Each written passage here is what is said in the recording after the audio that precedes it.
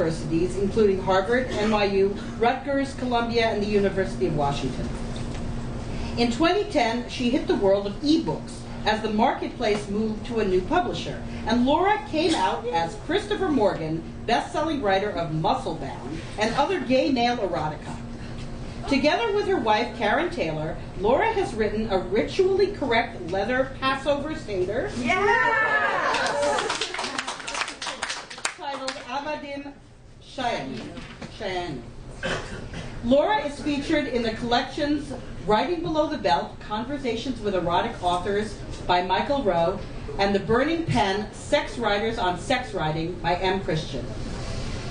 Her, her Preston short story, uh, I'm sorry, her short story, The Man with the Phoenix Tattoo, won the John Preston Short Fiction Award. The story was originally published in Take Me There, Tristan Taormino's 2011 Lambda Literary Award-winning collection of transgender erotica. Laura was also a columnist for Girlfriends magazine and Alt.com, editor of Bad Boy and Bi Curious, and a regular contributor to the S- Sand MU Topia Guard- Guardian from 1993 to 2000. Laura plans more novels in the Marketplace series as well as delving into other genres.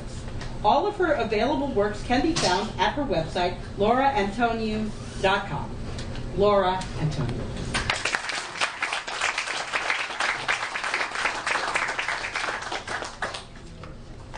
I'm old, so I've done a lot. so uh, this year, I have uh, two new books already. One of them is No Safe Words, which is the first marketplace book written by other people. It is a collection of marketplace fan fiction. And it has Melina on the cover. So if you keep seeing naked pictures of Melina uh, on the screen here, that's because she's on the cover of my book, which is because I asked her before she had morning coffee. and if you ever want to get something from Melina, ask her for something in the morning. The other uh, new book that I have this year is The Killer Wore Leather. This is my first mystery novel. It is my Yeah. first book with Cleis Press of, uh, of much renown. Um, and uh, The Killer Wore Leather is a comedy murder mystery that is set at a leather con- uh, contest called, sorry, I need both hands for this, the Mr. and Ms. Global Leather and Boot Black contest. and only people in the scene get the and boot black, um, which is very funny because last weekend was International Mr. Leather, uh, which I attended, and the boot blacks were accidentally left off the program. Life imitating art. Anyway, so it's a comedy murder mystery because why? It's set in our real leather community. so, uh, have any of you heard me read from this before? A few of you? Yeah. Um, because I could start from chapter one or I could start from later on. Later. Later on? Go to the end so we can find out who done it. Yeah, sorry about that. Spoiler alert. Let's start with the meet and greet. Everyone's been to a meet and greet. this one is at the Shaft, which is the local leather bar. By the way, that's an in joke. The Shaft is the leather bar in the marketplace books. So in reality, it takes place in the marketplace. Chris Parker just walks right through, but no one noticed. so, at the meet and greet, everything ran late as usual. One of the judges missed the bus. One of the contestants had stage fright and threw up. The owner of the bar wanted more stage time to make announcements for upcoming events and promote the new cocktail they'd made up to honor their contestant, Jason Asada. Earl Stemple, the producer, nixed the Asada Colada, offering discounted drinks with the name of a contestant on them seemed against the spirit, if not the letter of the rules. The MC then proceeded to mispronounce half the names of everyone introduced and told rambling, misfired jokes of dubious taste, even for a crowd of kinky people.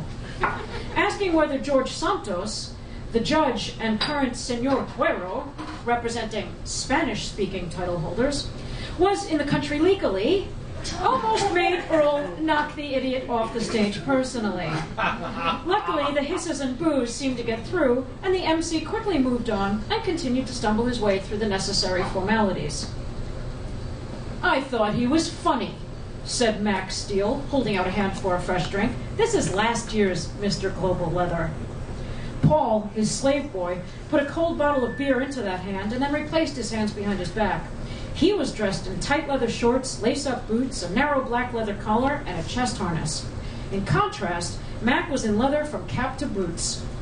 The judges were all clumped together, waiting for the sponsorship announcements to finish so they could go out and do their mandatory socializing. He didn't know how to work the crowd, sniffed Chava Nagila. Taller than Mac, in her four inch heels, Chava was in full drag regalia. Her beaded amber colored gown had a tall lace collar and shot off gold lines of reflected light every time she turned. She was drinking a cocktail to match her radiant ensemble, with flecks of gold floating in the martini glass. I could have done better. There's a reason why you leather people need drag queens to run your shows. You have all the style and charisma of a discount sofa bed.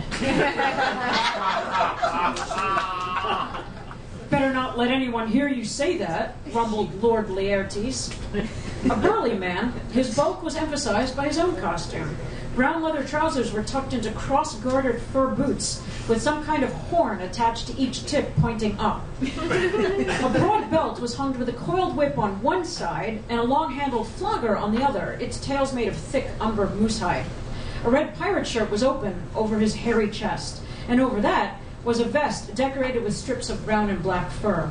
A medallion in the shape of a crescent moon crossed with a double bladed axe around his neck proclaimed him to be the Khan of the Eastern Kingdoms. I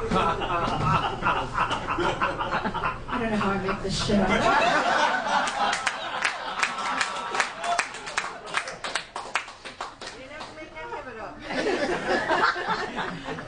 People are going to think you're prejudiced against the sea. He wiped beer foam off his goatee with the back of his hand after draining a mug and slapped his free hand against his thigh.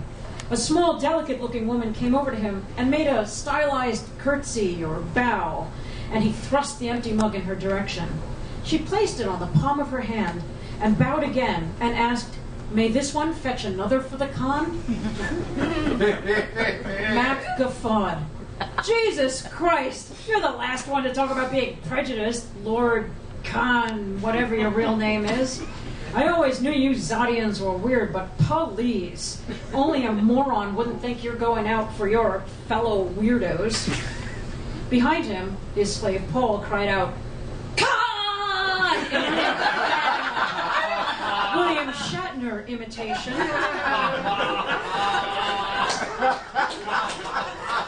oh, like this never happened to you. Mac laughed even harder as Lord Laertes turned his back on him. The Zodians have been in the scene for over 20 years, which is more than anyone could say for you, said Mistress Ravenfire, Ms. Global Leather. I need a drink, muttered the other woman on the judging panel, a short, bespectacled woman wearing a Hawaiian shirt under her leather vest. She stalked over to the bar by herself. Try to get a sense of humor while you're there, shouted Chava Nagila. Worst judges ever, Boy Jack texted to Boy Jack. Roger that, Boy Jack responded. You know, they're the volunteers. Now there's a reporter on the scene. Nancy Nichols. She's named after my mother in law. Anyway. So, you're not all into that master slave stuff? Nancy Nichols asked, curious despite her continued reservations. This was turning out to be one of the strangest things she'd ever seen, and that included the evening she spent with a group of chicken fanciers. What? Breeding them, not fucking them. Those people were as passionate about something as tiny as an array of little feathers on the back of a chicken's foot as these people were about their costuming. These kinky people had philosophies, or delusions masquerading as philosophies. It was hard to tell. The little pamphlet she'd been given at the door was quite illuminating. The word consensual appeared a lot. Oh, lordy no, said the small but well shaped man in front of her. His dark brown hair was buzz cut almost to the scalp, and he wore a delicate chin beard and mustache groomed to exacting precision. It outlined his jaw nicely, and he had terrific smooth skin and dark green eyes to die for.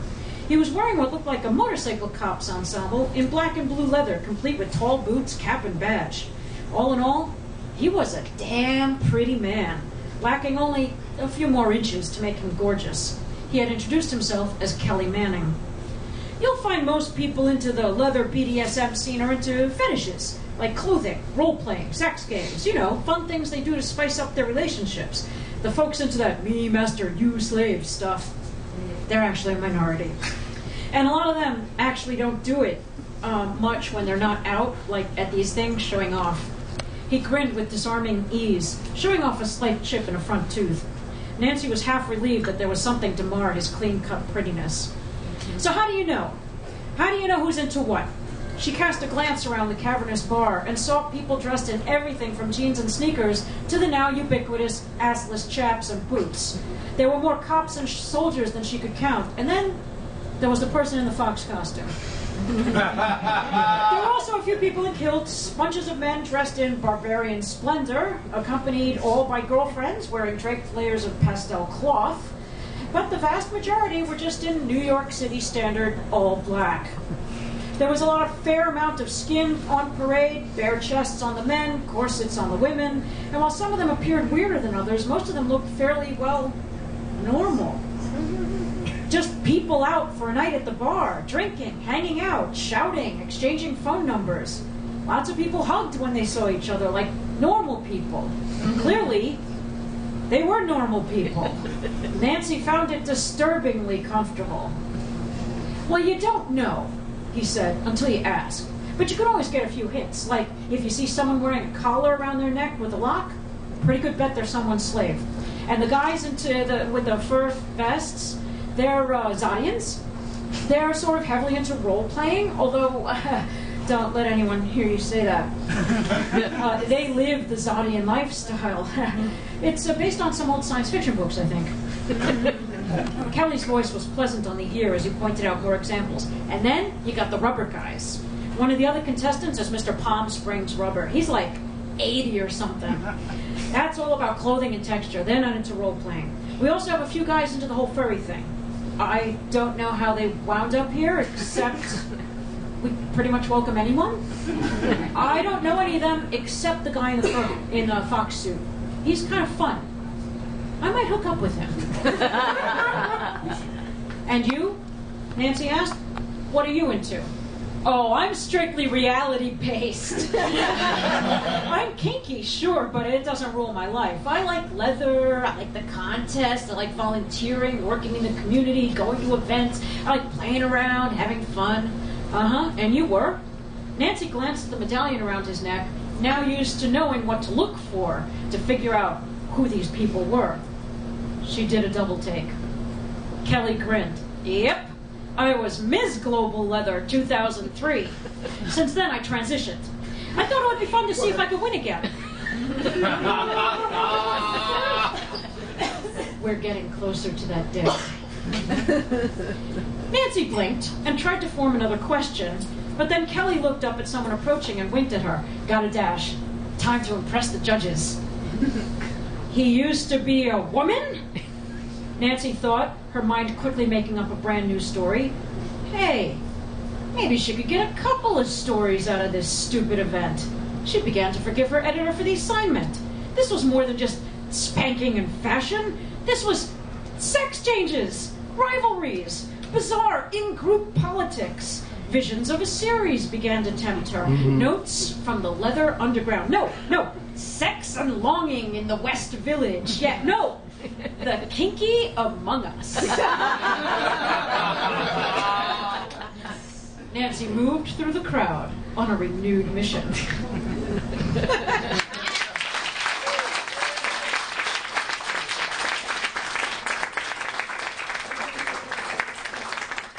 So if you want to talk to the authors, we're all like clustered over here. Um, uh, D.L. King has, has books for sale. I only have, unless my wife arrived,